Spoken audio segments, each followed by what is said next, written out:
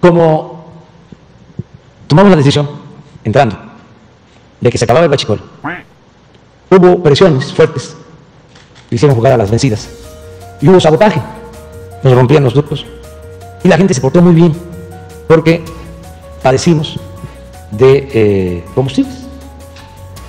Había que hacer bolas para cargar.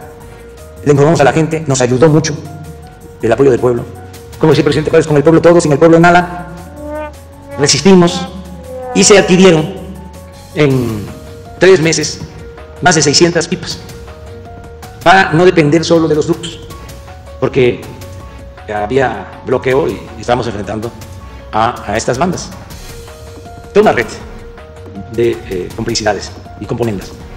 Entonces, se le pidió a la Secretaría de Defensa que nos ayudara para operar las pipas y no tener problema porque llegaban los barcos a Tuxpan de la gasolina que se compra en el extranjero y no se podía meter el combustible al ducto Tuxpan a Azcapotzalco porque lo tenían tomado.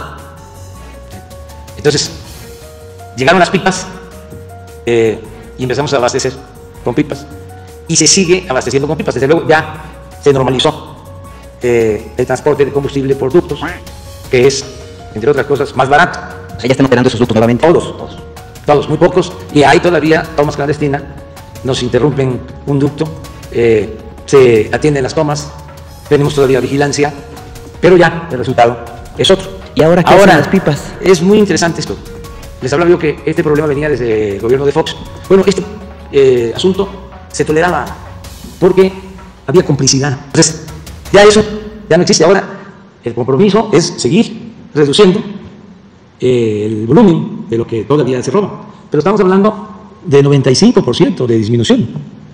Esto en dinero, eh, pues debe de implicar como 50, 60 mil millones de pesos de ahorro. La corrupción hay que combatirla no solo por razones de índole moral, sino porque es mucho lo que se va por el caño de la corrupción.